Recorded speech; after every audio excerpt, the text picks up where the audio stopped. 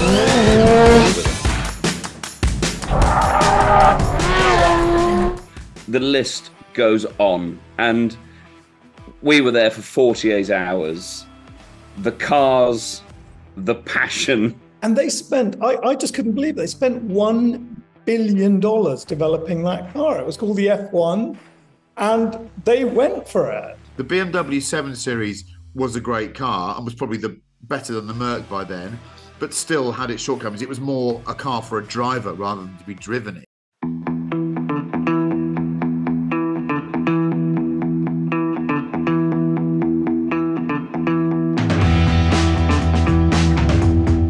Hello and welcome to episode 38 of the Collecting Addicts podcast. Once again, you find us spread about all over the globe. Manish Pandey is in London. Chris Cooper is near London. Chris Harris is in Bristol, which isn't that far from London. Edward Lovett is in New York. And Neil Clifford is in Mexico, where he is not going to be watching the Grand Prix this weekend, which I think is a quite brilliant piece of organisation. Um, we're going to kick off this. We're going to with a nerd subject. Um, someone, well, one of this group, Chris Cooper, posed the interesting observation, I think, on the back of a new Lexus that's been launched in Europe, which is essentially a minivan that's being sold as a replacement for the Lexus LS. I call them LS 400s because that's what they were when they were launched. But the LS Lexus appears to sort of be dead in Europe. And that was one of the first cars, perhaps more than the NSX, that signaled the arrival of Japanese manufacturers as a real test for the mainstream uh, executive car makers of Europe. So, why is it the LS is dead? And is it a shame? Do we care? Chris Cooper. Uh, it does seem to be dead. And we'll put a, a picture up uh, while we're talking. This LM, I mean, it's a train carriage for the road. It's just some chairs being conveyed on something that might be a van. I mean, it's just. In, Is that what it's called? A Lexus LM? Le- yeah, Lexus LM.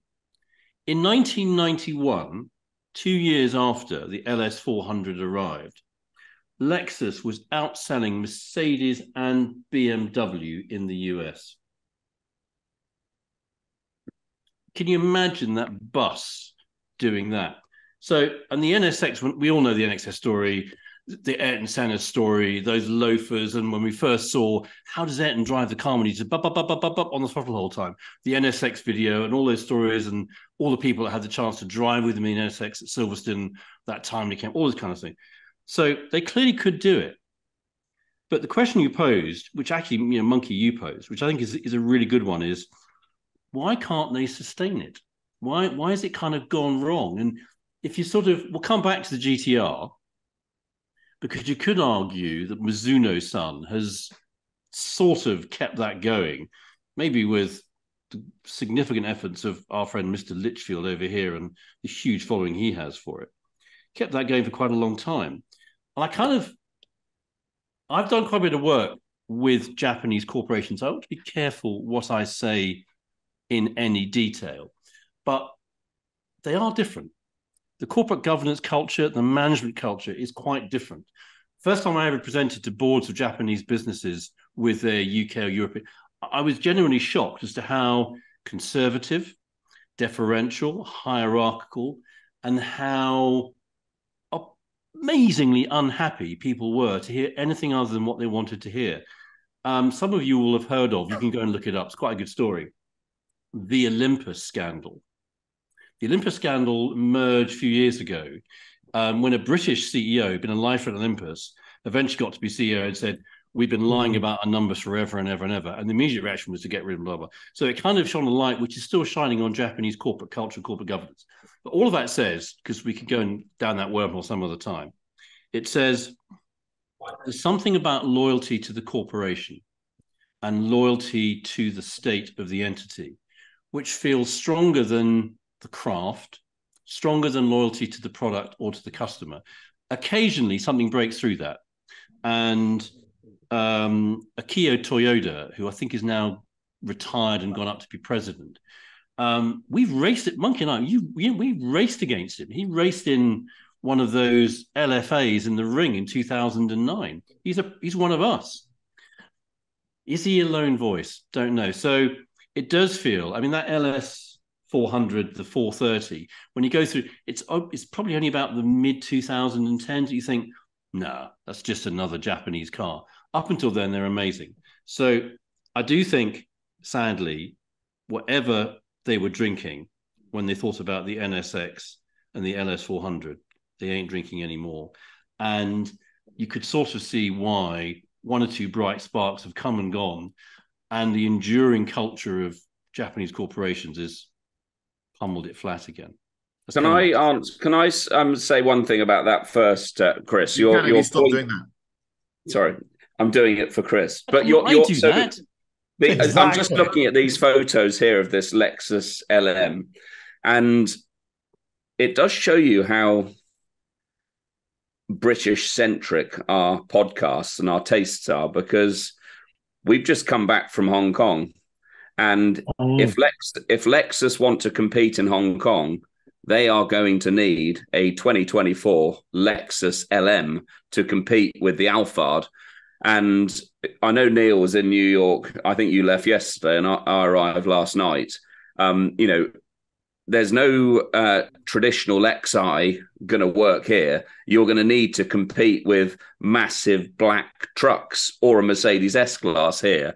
And, you know, the, these tastes around the world are, are so wildly different. And, and we've also talked before about how intelligent and forward thinking these manufacturers are. And Lexus have clearly made a decision that if they want to compete in that space, there's no point trying to compete against an S class or something like that. They need to go this direction. That that's a call that they probably made 10 years ago, whilst they saw in Asia the the Alphards, you know, that type of car starting to gain massive appeal and traction. And, and you know, Chris and I saw, you know, there's tons of those things running around Hong Kong. That's kind of that's the go-to car. You don't see yeah. anyone in Priuses or S classes. That that's the way to travel in Hong Kong. Neil Clifford. I think it's a brilliant question. This, you know, it's like when you go and take a year off because you got fired from your job and you go and do an MBA, you get this question, right? It's brilliant. And I thought quite a bit about it because is it is it the fact that it's just their ultimate extreme push for innovation, complete focus on technology, their massive obsession with engineering beyond any consideration of emotional past. I don't think so, actually. I just think that if you've ever been out for a night out in Tokyo, everyone's actually 10 years old. Yeah. and I think it's a, it, I, I think I think it's an incredible place. I adore Tokyo. Probably is probably my favorite city, but they're all brilliantly bonkers. And if you see the things you can buy in vending machines, everyone's about ten years old. Yeah, and therefore, I just think that they forget about the last toy they had, like a Christmas present, and they move on to the next one. So I don't. I, I think it's not about this obsession with engineering without any emotion of worrying about. Oh my God, we must continue the bloodline of the NSX. They just put the NSX in the toy box because it's last year's toy, and they go and get a new one and design it all from scratch. So that's probably what I think that there's a there, there probably is a lack of emotional connection to the past. Yeah, because it wouldn't happen in Germany, would it? You know, no. you, we all we all refer to the 911 as probably the ultimate ability to reinvent something and just make it a little bit better every time. And we all wish they did that with the bloody NSX. You imagine the NSX now that it just slowly got better. Oh, yeah. we'd all want one, wouldn't we? Unfortunately, yeah. they forgot how good. They forgot how good the, the first one was, and then they designed that shit one with the hybrid thing in it that no one wanted. Yeah, I think. Um, yeah, I, I agree with all of all of what's been said. That I, I don't like generalizing and speaking about nations as such, but they as a people are one of the most interesting and fa- fascinating paradoxes on on the planet because I agree so much of culturally what's thrown at you in Tokyo, which is it's the biggest um, smack in the face that any city can give you. It's, it's an extraordinary Amazing. piece of energy that just whacks you in the face, like a sort of one of those one of those sort of wave things of the so sonic waves that hits you in Star Wars and goes whoom in the cinema. It's one of those. They are 10 years old, but they're also locked into hierarchical societies that that are fixed so they have they have respect societies. They behave like ten year olds, but they they nod and bow and hand out their business card to the person that works above them, and they don't question. This is the key right. thing: they don't question the tactics of the person above them because their corporations don't allow that. Yeah. And the way that manifests itself in their car product, for me, to take a massive leap forward, is that they tend to have periods of just conforming, and then they suddenly do something extraordinary. And and their and their car history proves that. They do they are mundane they're mundane then suddenly an nsx comes out of nowhere. And then they go back to being mundane again because they don't really i don't know whether they they look in the mirror and think did we do that? That nsx was that us? Like oh, that was amazing. Christ yeah. i'm not sure we could do another one of those. The yaris gr was the last one. Yeah. I can promise you that every other european car maker if they made a yaris gr would now be planning the yaris gr mark two three four and five. It'd be on the board. I bet you toys is just going. That was that was pretty amazing. Who did that? Oh, that was us. Yeah. yeah. And I, and well, they I, did. It's funny because they did the, they did the GR obviously for UK, Europe, Australia, but in the US they didn't do it, did they? They've done the Corolla GR, and you can't yeah. get that over here. Yeah, uh, they're they're curious, but they, I think they're not. One thing that I do find really interesting, and it does almost make their products more powerful, is that they're not interested in refining icons and, and sort of creating icons in perpetuity. They just like it being there, like the oval piston Honda race bike. Just you know, you've done it once, leave it there, and then yeah. they won't mention it in their material, their PR materials for twenty years, and suddenly out of nowhere they can go, "Oh, we did this a few years ago." Yeah. So a bit of me loves it because it, it's a bit like it's a bit like meeting someone that you know. I'll give an example. As a student, you meet that person that can do that thing with a pint. They can neck it in one. You know, it just goes down their gullet. And the next time you meet them, every time you're in the pub, you want to say to them, do that thing you do with the pint. But they choose not to. They just know they can do it. Yeah. And I think I quite like that about the about Japanese car makers. It means that we're always slightly pregnant with the thought they might be about to do something spectacular. But it does also mean that it feels like their icons are in some way neglected. Uh, and, and also with the with the last NSX, which actually I, I did enjoy, the one from 10 years ago, it puts immense pressure on a Japanese car company when they do resurrect a name. Because if they don't, if it doesn't meet the standard required, they're yeah. in the shizzle, aren't they? And it CRX, CRX fell into that category, didn't it? When they brought that horrible hybrid CRX out. Oh God, yeah, I mean disaster, wasn't that dreadful? Sorry, yeah. So, Sorry, what did you think? No, no. It, so I had to do a little reading around this, and uh, I don't know if you remember. A few episodes ago, I talked. We were talking about the Mercedes S Class, and I had said that sort of around the time of the W140, kind of early 90s, um, all the kind of Indian doctors in California that I knew wanted to buy the Lexus LS400. You know, they just could not see the point of spending basically double the money on um, on a car just because it was a Mercedes. And so I read a little bit around it, and you were saying that Toyoda, who you've raced against and who is retired now, apparently he pressed the button in the mid 80s on creating the best luxury car Japan would ever do. And it, it's really funny what Neil has just said and what you've sort of attested to. Effectively, you're saying that you've got this hierarchical structure and that it will be obeyed. Now, you know that whatever is going to be in abeyance is only, only going to last a short period of time, but someone at the top who is a bit of a racer, who really does like his car, says, Come on, we can beat Germany at its own game here. And they spent, I, I just couldn't believe it. They spent $1 billion developing that car. It was called the F1, and they went for it and, and they achieved it. And I do wonder exactly.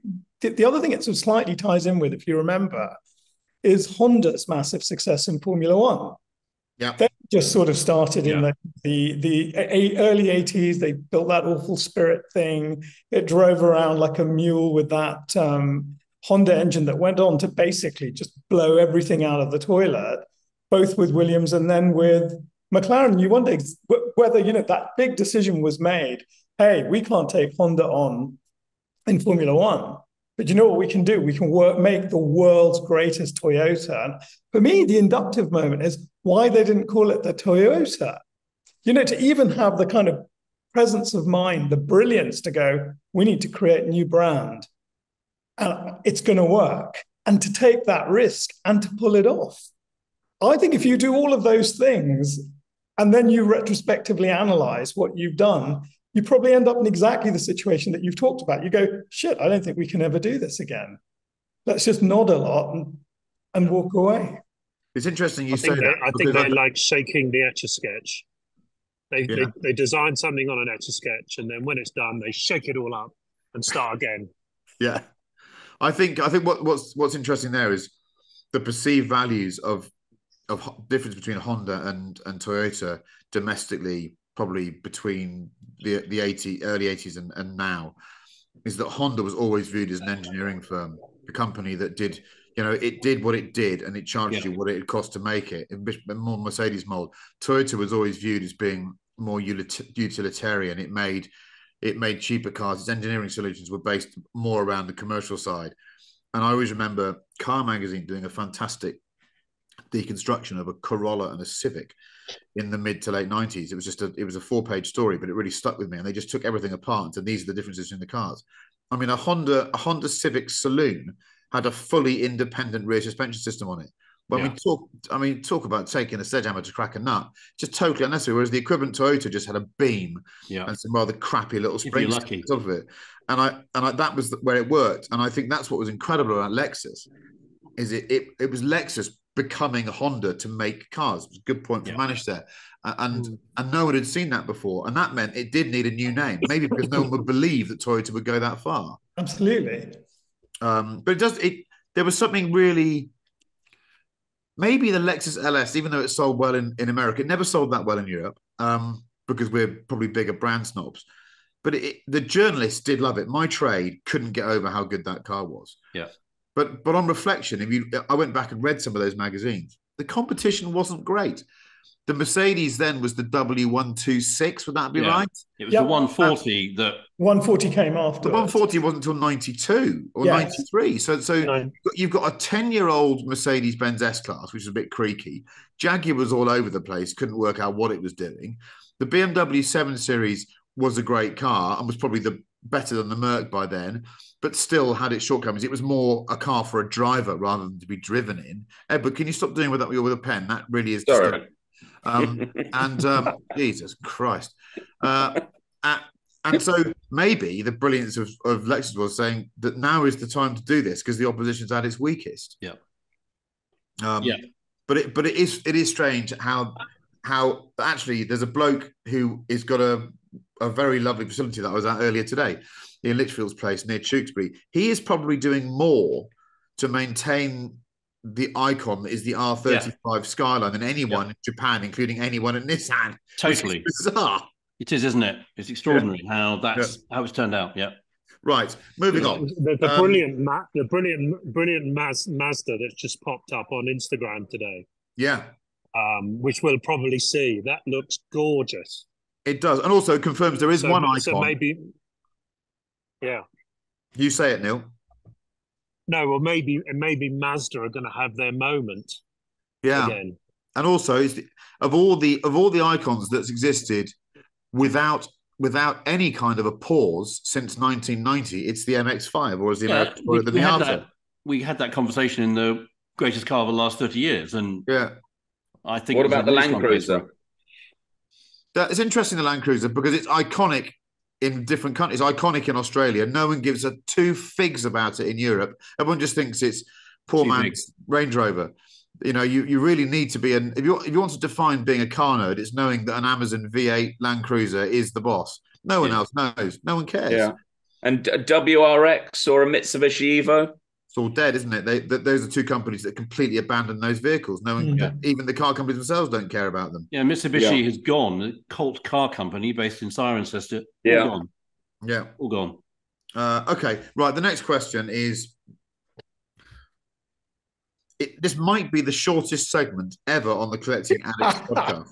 Okay, I'm going to ask this question to Chris Cooper: Clear glass or tinted glass?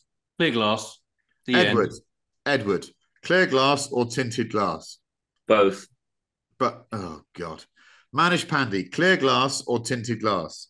I'm going to make. I'm going to do a Chris Cooper just quickly. Her Majesty's government have a website on this. I just need to really read this out. The rules for tinted front windscreens and front side windows depends on when the vehicle was first used. There are no rules for tinting the rear windscreen or rear passenger windows.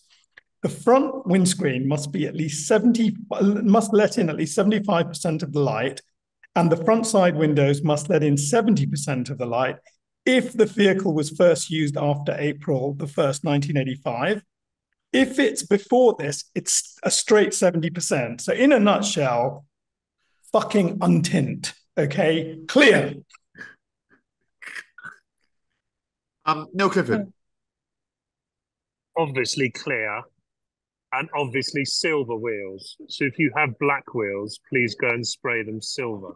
Totally. 100%. I, I, I get it. You have a clear hate for these things, but um, what about driving in clear glass in a country where the sun is so bloody strong coming in the front winds? And that's the thing. Wear I mean, sunglasses. Look at that. Sunglasses. Look at okay, that. Isn't right. that, so, so isn't that you- ruinous? is that mounted? Is that mounted again?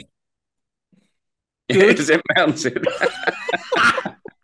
Right. Bad. For the benefit of those, that. of, We for got the that, benefit of those of you that are not watching this on YouTube, Chris Cooper has again mounted some imagery on on phone and is showing us the difference in profile between an Alpina B 4S. Gran Turismo Sport Gran Turismo. Yeah. Gran Turismo. Or was Uh, that two different photos he showed us? It's the same Oh. car. It's the same car, but Good. tinted or Yeah. untinted. Now, so the- Oh, that- the- my re, my Oh, um, that looks quite good, right. that if one. you live if you live in a very very hot country with direct sunlight, then tinted windows and you've got a dog or kids, I understand.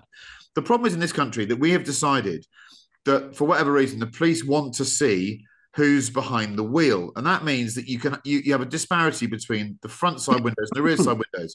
And as any car designer will tell you, I can't design anything. I'm a luddite. They spend a lot of time making sure a car in profile is beautiful. And if the front windows are clear and the back windows are tinted, it totally ruins the symmetry. Totally. The, and the flow of that design is really odd. It's quite jarring when you see it. Yeah. And I, the best solution of all was the Mercedes blue glass that they used to do as an option in the 80s and 90s. You could you could go for a, a, a tint, a blue tint to the glass, which actually was in some way get some UV reflection in it, but also you could see through it. It was Yeah. fantastic. Yeah. And you can see one of those cars on the road now, they look gorgeous. Like you, Chris, you're obviously not famous enough. You know, I have to drive from um, SW6 um, to SW6 for work. It's about um, half a mile. And without tinted glass, I, I get spotted by everyone. I'm the guy off this podcast, and they, you know, Edward, they're you drive a throwing bright- themselves in the street. You I've got to have my front screen blacked green- out. You drive a bright green Porsche with the hood down. Okay, everyone can see you. Um, Can I, but can I, just think say that- about that? Um, we talked about it. Um, at the weekend, the founder of Alpina very sadly died, He did. Oh. Burkard Bovensiepen And when the announcement was made, it said, um, very sadly, he died aged 87. Because I'm dyslexic and a bit weird, I read that as Boven had died aged B7. I hope you'd appreciate did. that. It, di- it did look that. like it. It did look like it, didn't it? I hope. I, I think he would have appreciated that. he He would. would. Bless him. I met him. I met him at Divonne-les-Bains, I think it was, at a chateau that he'd he'd he and his family had rented to launch a thing called the D5, Yeah. which is an, which is an, which is an E39 five series. 530D Nice. that they had super tuned with a D to make the fastest diesel in the world. Its power figures now wouldn't even register, but back then it was comfortably the fastest diesel in the world.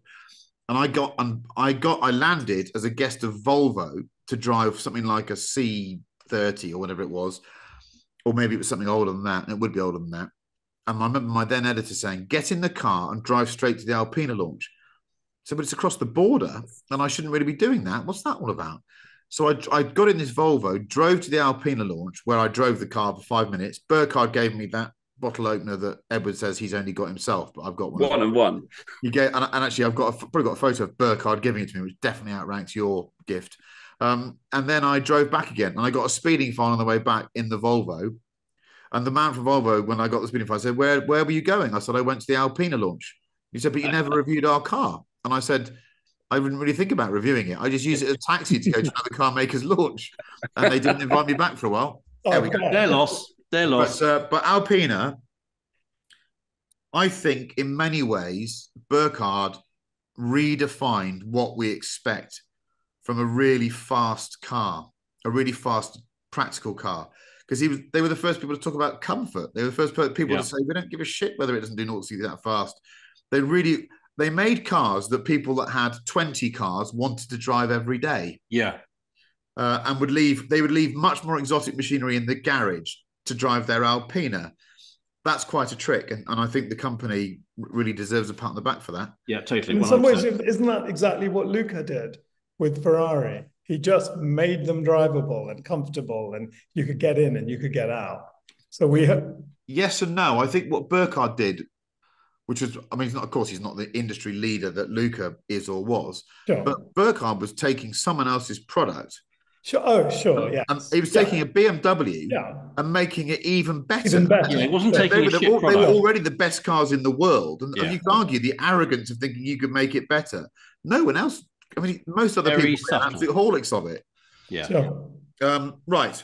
This is uh this is one that's um oh no, we're gonna do cars this week. So what have we driven this week? I mean, I've been all over the place this week, so I've got lots of tasty morsels to talk about. Neil Clifford, have you driven a car in Mexico or New York?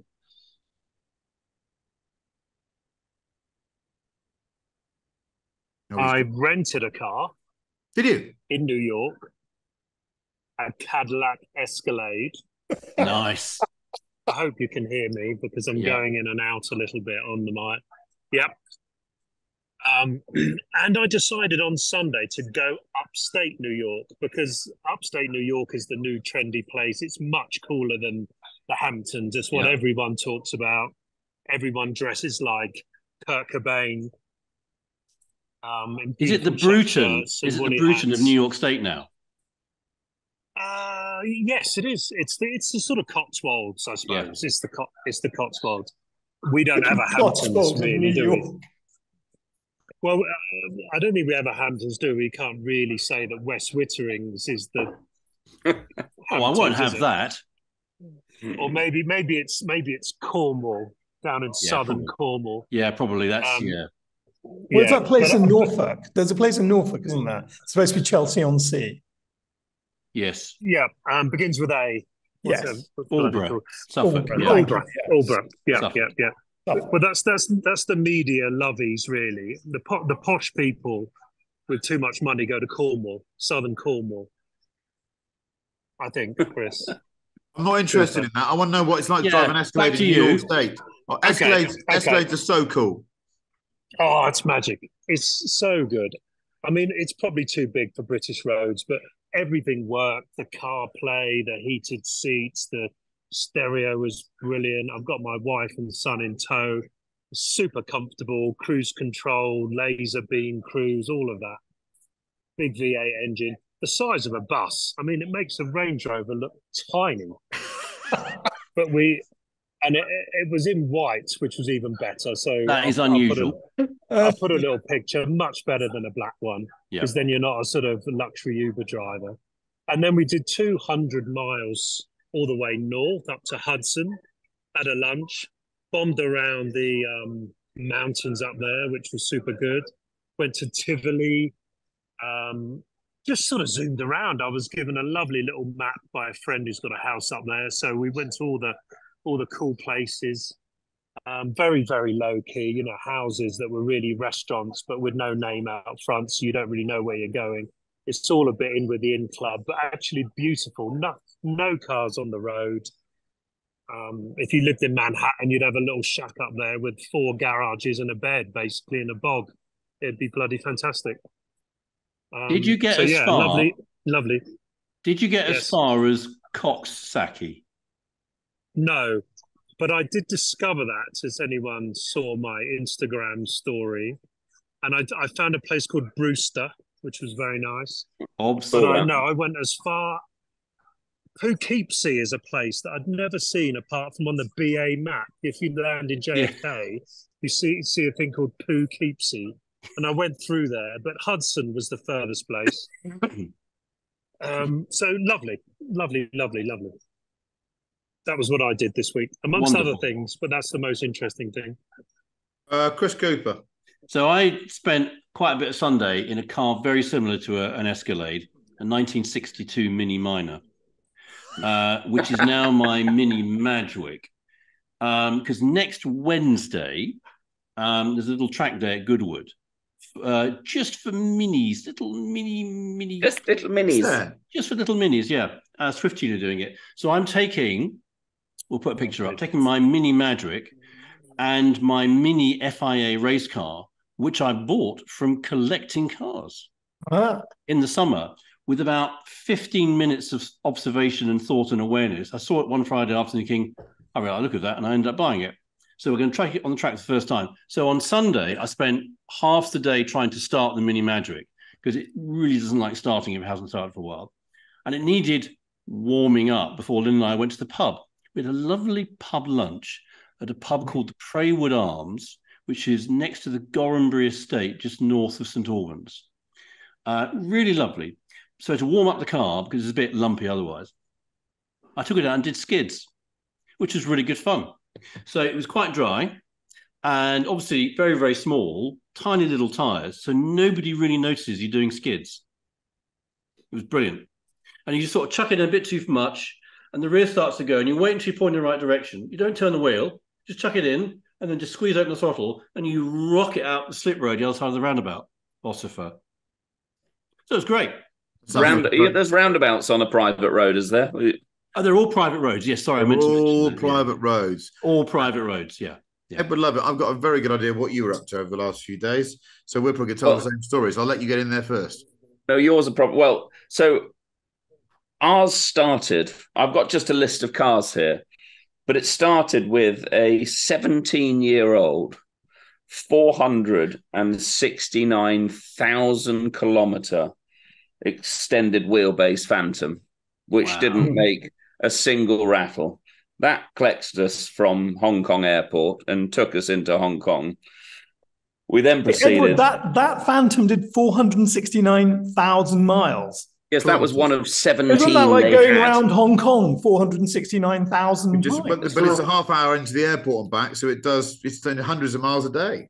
Wow. Yeah. It's the pen, Yeah. the peninsula the peninsula cars. He's got sixteen of them, hasn't he? Seven, 17. 16 yeah oh, they, there's 11 still running yeah um so yeah that that took us into town we uh checked into our hotels for about 30 minutes. Were greeted with a cocktail waiting for us in the hotel room which we proceeded to drink then went out and got what can only be described as rat-assed uh, rolled out of bed the next morning at, at about 5.30 chris and i definitely were worse for wear. And and I just thought I'd I'd I'm not not going to tell you everything we did, but I just thought I'd list a few cars.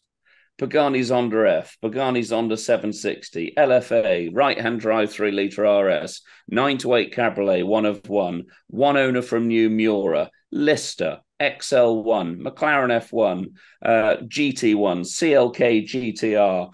The list goes on. And we were there for 48 hours the cars, the passion, the intensity was just remarkable um, and so wonderful to see. So yeah, that's that's what our whirlwind weekend trip to to Hong Kong looked like. It did look mega. Brilliant. Did look Yeah. There was uh, there's there's a lot of there's a lot of undiscovered uh, metal and plastic there. Uh, it's the opposite of Dubai, really. Dubai is just a cod piece. This is a Victorian corduroy dress that comes down to ankle level. It's so dignified. No one wants to tell you what they've got, but I suspect that if you if, if you if you're a nerd that want, that wants to collate where all the vehicles on the planet are, if you're missing any, I would harbour a guess they're either Yeah. in Tokyo or they're in Hong Kong.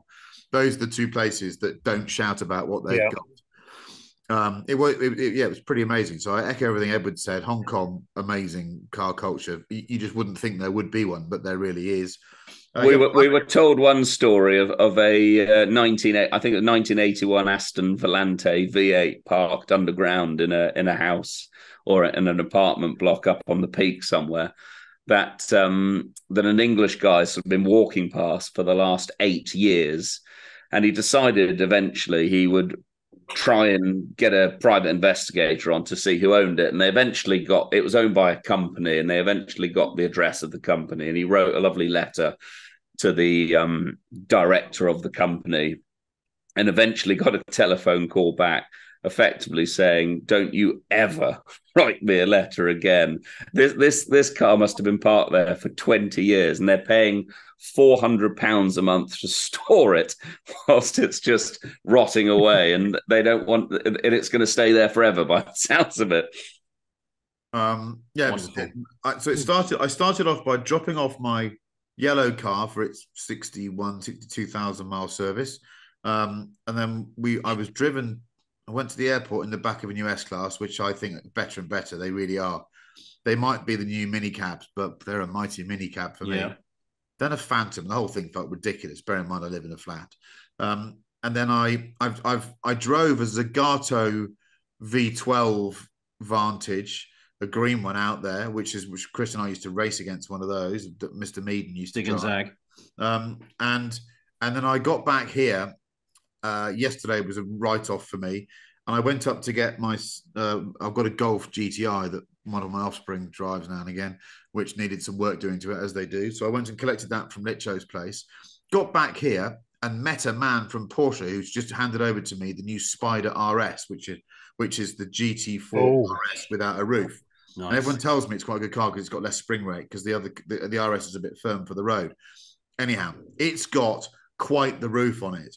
So normally when people say, "Should we give you a walk around the car?" I say, "Ah, don't worry about it." But these bloody things are so complicated with these catches and what have you because they want a lightweight roof. Anyhow, the the lovely chap who was super helpful from Porsche showed me how to do it. And then he said, I, "No, we'll put it back together again." And we put it back together again. I drove off, and straight away it went, "You've not put the roof on right." And it's just binging away at me, and I can't work out what I've done wrong.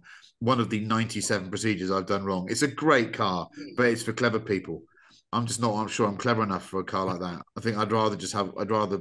It's going to be a great car to drive, but I need a simpler solution because I'm too much of an idiot. how's Uh, the weather this weekend I don't know. Mixed. okay Yeah.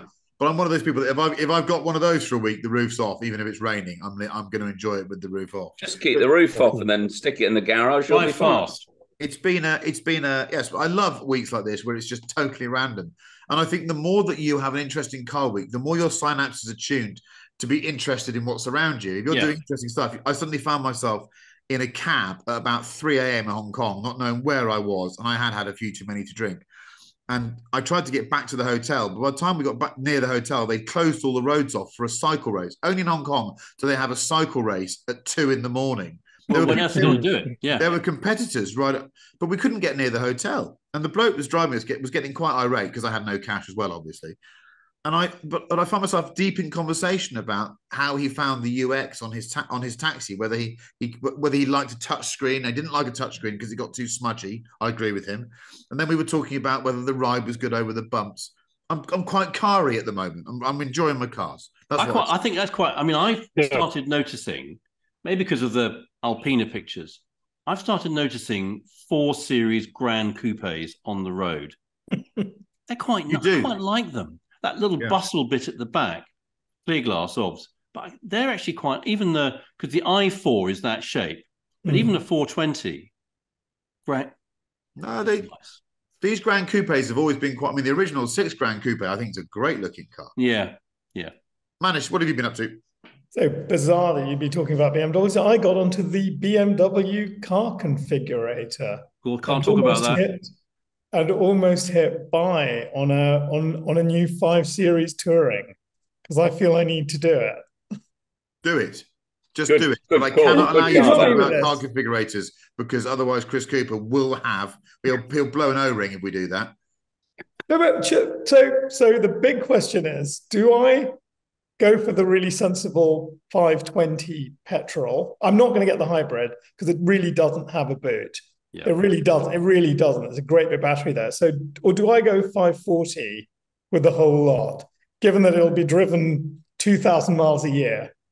I think you know the, I think you know the answer race. here. Go for the one with the smallest oh, engine 520. because you will not The benefit from 520 540 nice. at all. Yeah. It drives nice. It drives good. The 520. Okay. Yeah. And can I just ask, what do people think of um, Tanzanite blue with with a cognac interior? So the Tanzanite Yeah. blue is very dark. Perfect. Yeah, You like that? approved. Sounds delightful. All right. I, All bo- okay. I'm all going to press the boxes. button. All boxes have been ticked. I'm gonna So Manish is going to buy a 520 with a cognac interior. I think we can all say that we'll believe it when we see it. Wait, by the way, how long will it be before I see it? Do you? Does I anyone don't know. I suspect quite a long time. I suspect it'll be six months. Yeah, Really? Well, then, yeah, the lag, the lead time on these things is quite long now. They're built to order pretty much. unless they offer you something similar that's in the pipeline. Yeah. Right. Does that Has happen? it got an air conditioned glove box? I need to check that. Almost certainly not. BMW don't do it. Yeah. They don't. They tend not to do it. You probably don't need the uh, the milk though for the uh, in the I glove box. I think I, I think at the age of 17 and a half years old and six feet two inches tall, you can have some warm water. I um I watched I watched Meet the Fockers the other night, and that scene where the bloke drinks the breast milk still gets me every time. And, uh, Yeah, that- But by the way, did you know that Coxsackie is actually a virus? It's the class of virus for polio and hepatitis A, if I remember correctly. It's an enterovirus. none of none of those are things to be giggled at. They're I quite. don't think that's interesting, but not very funny. Oh, I'm sorry. Yeah, that- that- If, that- If it was funny- if you've got It would be okay. I think, Serious, I think but- the, hepa- the hepatitis is the, is a horrible sounding word. Yeah. Right, here we go. Uh, this is an observation I made, which will mean it's less clever than the observations the others made. Um, at the weekend uh, in the F1, I think we could say that Lewis, um, uh, despite the fact the car got disqualified, had a turn of speed that was more impressive than previously. And he drove pretty well all weekend. Um, and actually, it was probably a, a team decision that that let him down. And I don't believe he's in charge of his own skid blocks. Um, so, so we could probably assume that the reason why his weekend didn't turn out the way it should have done was because of the team. Last year with Ferrari, we saw some remarkable decision making by the team that I think undermined their drivers. One of which, Charles Leclerc, I'm not sure is fully recovered from the way that he was undermined by his team. Um, so here's my observation and the question to, to, to my panel here. I think that increasingly Formula One drivers make fewer and fewer mistakes. They're just remarkably competent and gifted athletes. But it seems the teams make more and more mistakes to me at the moment, or, or maybe because the, the the sport is trading in such fine margins. When they make minor boo boos, they become much more visible and obvious to us, the viewing public. Um, I'll hand over to Manish on this one now. Do we agree with that statement? Yeah, I think that's really fair. And I think what's amplified it are the rule changes. I mean, whenever you have rule changes, you have these massive swings. Some people get things right, some people don't. And then you've got that very early arms race where everyone's trying to catch up with whatever it is Red Bull, as it turns out, has. And um, I think it was funny this weekend because um, on Friday, I think I'm going to throw up, Neil.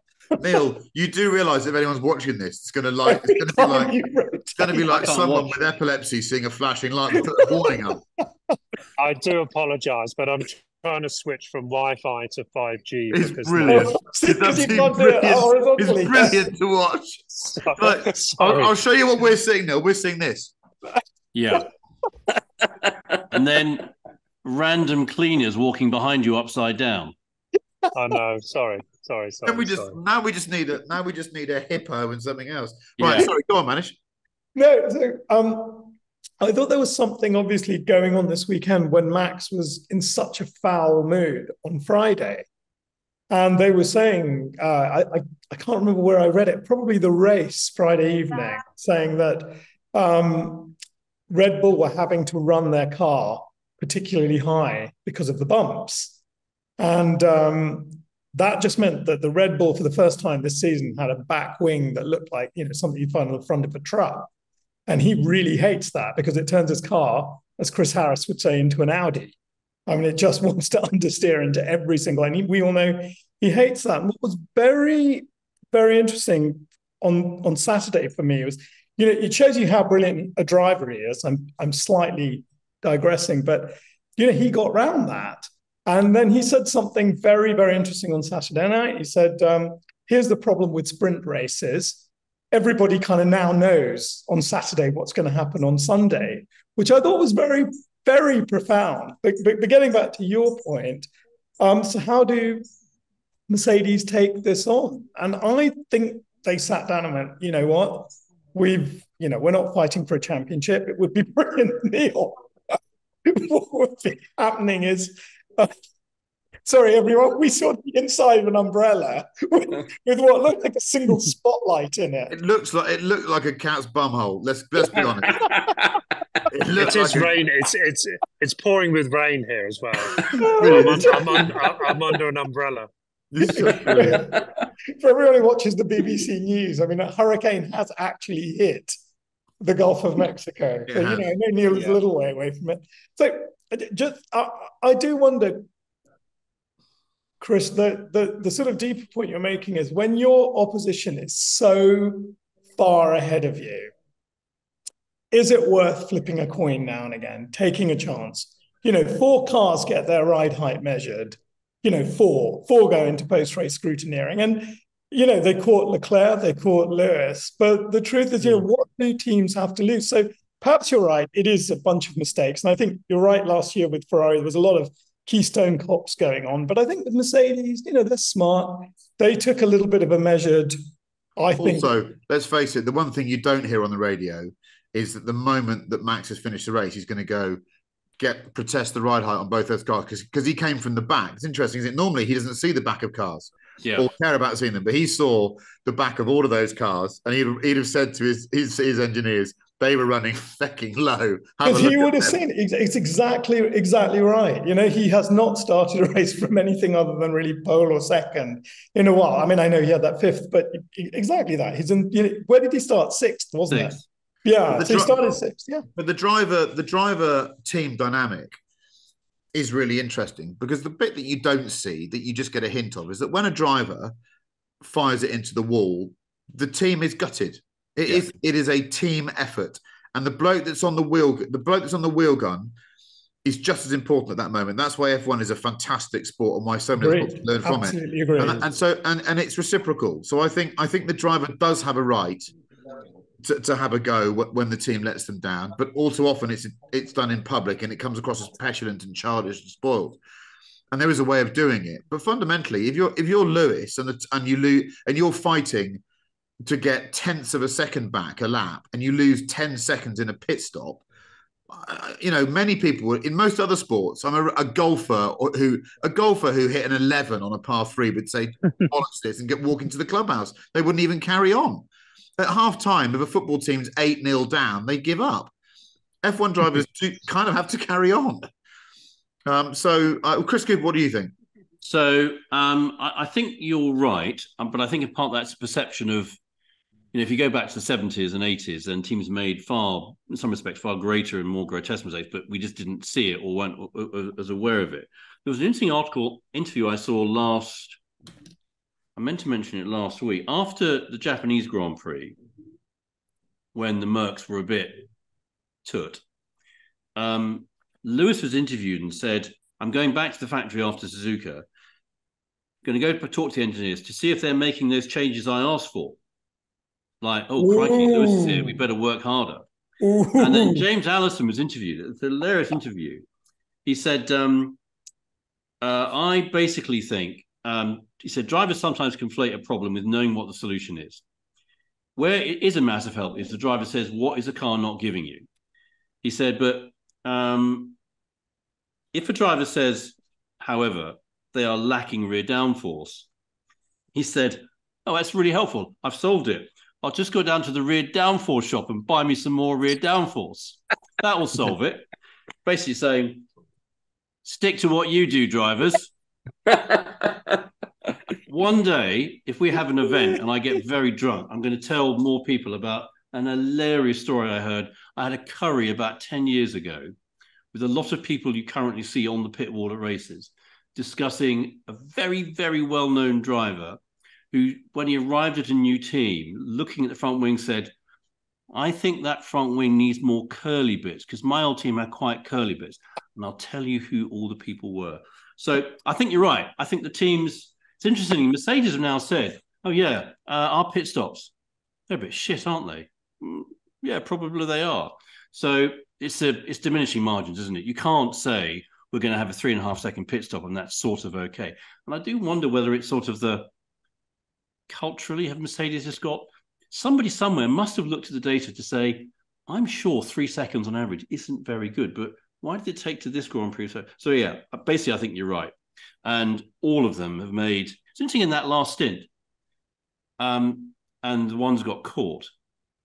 My understanding from talking to a few people in the know was that one of the reasons why Lewis got caught, and it, the evidence or suggestion seems to be that George's car didn't or wouldn't have failed, because Lewis was running it softer because he wanted to absorb more of the bounces. And it was the bouncing that was rubbing the car away. So that gave him the confidence. Because certainly on the hards in the middle, Lewis was way faster than George. In the medium stint at the end, the last 16 laps, George was 10 seconds faster than Max and three seconds faster than Lewis over that stint. Maybe the medium tires just work better, who knows? But the scrutiny on them now is just enormous. So, yeah, I think the answer to the question is yes. Um, there's a lot more focus on them. And I think if you've got Ferrari in your team name, we've said it before, they need to sort themselves out. Yeah, it's um, it's it's a difficult job. Uh, Edward Lovett, what do you think? Uh, no, no, no Formula One comment from me today. I've been off Formula One for the last two weeks. I haven't watched anything, so I, I haven't got a clue what's going on. Apart from apart from apparently Qatar was hot. there you go. Uh, Neil Clifford, did you watch it? Well, my observation maybe is aren't the cars just easier to drive nowadays than they were in the olden days? That's why people don't make as many mistakes. Excuse me. Bless, Bless you. I think I think that's only partly true. I think they're I think they have the ability to be more difficult to drive, but the key difference for me is they have an automatic transmission. Effectively, yes. The, the, yes. The, the, thing that the thing that determined. Okay, to rephrase that, the number of times you saw an overtake as a kid in Formula One, you thought, "Oh, that car's faster than the other one." It's because someone fluffed a gear change. Yeah. That's as simple as that. And if you if you don't get it hmm. absolutely mm. bang on in a manual car, you're done for. So yeah, that, I think I think in some respects that's easier, but that just means that the it pushes it puts the pressure on other areas of your driving. You know, so there's always my view is the best drivers of any generation will always be the best drivers of any generation. They'll overcome they'll overcome problems that lesser drivers can't overcome. Yeah. But also cars are more reliable, aren't they? Like they are. When I was in the Fiat, when I was in the Fiat garage in 1983, you could you drove out with a Fiat X19. It was probably coming back within a couple of weeks. Yeah, right, because it was it was shit. Yeah, and it's um, bizarrely cars cars don't break down, do they? Yeah, it was uh, bizarrely when they banned testing, which you'd think would be the process that would make them reliable. By banning testing on cost grounds, it forced people to do proper R and D and stress testing, reliability testing. Um, the car reliability went whoosh when they banned the process that you thought was going to make them more reliable. And that's why I think we, mm. we now see teams make making mistakes because in the old days, a, a, mechanical failure came under the broad heading of a team mistake. It wasn't the driver's fault. Although, yeah. actually, more often than not, the driver would probably buzz the engine by over revving the freaking thing. Yeah. So now, rather than seeing mechanical failures, what we're seeing is um, is is little mistakes by teams. And also, you could say that. I need to blow my nose. Sorry, sneeze there. Hold on. Yeah. God. Nothing like two. That, that sounded like you got it there. 14 and a half hour flights in two and a half days. Hideous. Um, I think you've ended up in a situation where their their mistakes are, are amplified by by these fine margins. And one of I reckon if you went to a management consultant such as Chris Cooper and said, right, we're making mistakes. What do we do? The solution might be some sort of collaborative effort between both sides of the fence, the driver and the and the engineers. That's what Ferrari did last year, which caused, I think, the biggest shit show I've ever seen. It was almost like uh, it was comedy. We had a driver overruling a pit wall about strategy, which you know the driver can probably real time give some feedback on how the car's driving, but didn't know what's going on on the rest of the of the race. No, So no. once you opened it up to become a debate, it was Yeah. it was farcical, wasn't it? At times. Mm, Yeah. mm. Did you Yeah, hear what do you think, Lewis um, had quite an interesting exchange um, because effectively they bought him, I think it was five laps later. And I think what Shovlin was trying to tell him was no, it's just an offset because he didn't understand. I mean, you could see he did not understand why he was coming. He thought, oh, I've been undercut. I've absolutely lost this. And they played effectively the Red Bull game from the last Grand Prix. Very, very cleverly preserved those tyres so he could have a good crack at the end. Right, chaps, we're slightly on the clock tonight, so we're going to move straight to our two car garage, Mhm. um, which comes from the huge. I think it's the YouTube comments, wasn't it, guys? yes. Um, Yes. and it is it's interesting this one i'm going to read it out in its entirety because it contains it's a it's a good poser and also it's um it, at the end of it explains some of the language two car garage you're in your you're in your 60 singular just divorced with an e and the kids are gone to wherever you thought 1h you were going to be okay by being alone but you had to find a pretty lady to keep you company. You spelt Y U O. So you need one car, one spelt O N R, car to impress and seduce the chicks, and one as a daily driver with some comfy seats, spelt correctly, to protect your cookie crumbling back, all spelt correctly. Thank you very much from Denmark. Thank you for such a wonderful piece of entertainment. P.S. I'm drunk as a skunk. RN, don't even know what RN is, not a word. So bear with me. Heart, beer emoji, car emoji, and crying emoji, which probably means this is vaguely autobiographical. So let's begin with Neil Clifford answering that. We've got four minutes to answer this, all right? So let's get on with it. Neil Clifford, let's go. Right. There are only two curl, cars girls like. Yep, One is a Mercedes. One is a Mercedes Pagoda, yep. And one is a three five six. All other all all other cars, gir- girls do not care about. And the louder they are, and the uglier they are, or flashier they are, the more they hate them. So it has to be. I'm going three five six Yep. cabriolet. Um, and then oh, comfy. I'm going Mercedes. There's no budget in this actually, No. but I'm no, going but you're Mercedes- divorced. Merce- You're 60. yeah, that's okay. I've got plenty of money. Um, three five six Speedster Cabriolet, right hand drive, one of seven in black, whatever it is, and then I'm going Mercedes S sixty five Coupe Cabriolet, but not a black one. The the only one that's you know PistonHeads is all bloody black ones. Are you going? You, are you Uh, going Designo? Designo, full on Designo, Yeah. and Burmester, Yes. everything. Comfort, the comfort seats. I'm going. I'm going Manish spec, navy blue with cognac. with Yes. every single option ticked. Yeah. and just a beautiful, beautiful thing. So Big multi-vane wheels. Oh yeah, exactly. And if if anyone chooses any cars that girls think they're going to like, and it's not a Pagoda or a three five six, you're wrong. Yes. I, I, I think I think I might be in the zone of wrongness. Uh, Manish, over to you. Okay, just uh, this is from the novel Thunderball. Petacchi, who's the uh, bomber pilot who basically lands a thing in the water, he's been paid a lot of money and he's fantasizing about what he wants to buy with his money. And the first thing he wants, this isn't doing a quick Chris Cooper, the car I'm going to choose, but is a Maserati 3500 GT with the Ghia body. The novel was written in 61, so you can imagine the car. This is what he writes. He would only drive the car really fast when he wanted a girl. They melted in a fast car. Why was that? The sense of surrender to the machine, to the man whose strong, sunburned hands were on the wheel. But it was always so. You turned, you turned the car into a wood after 10 minutes at 150, and you would almost have to lift the girl out of the car and lay her down on the moss. That is what Bloody Ian hell. Fleming wrote. How are they, they're going to have to car is it? rewrite these? These are going to get the Roald Dahl treatment soon. These books, aren't they? It's going to have to be. Oh, Yeah. And he laid her down on the. Yes, I can't Moss. really think of what. yeah, Not the moss. Or he, Anyway. laid down, or he laid down on her moss. I don't know. Carry on. What are your two cars, Manish? So um, I'm going with the Neil vibe here, but I think the car that's going to get you because the guy's 60, okay, and I think you know we're all knocking on that. Well, you aren't, Harris, but you aren't. Love it, actually. Three of us are knocking on that. So, uh, so what you want is a really wonderful lady in her probably mid 40s, perhaps even a little older, who's just just wonderful, just beautiful, and I think she's going to fall in love with a 1957 Mercedes 300 SL Roadster. And it's going to be a gunmetal car with red leather, and it's going to have that picnic basket in the back.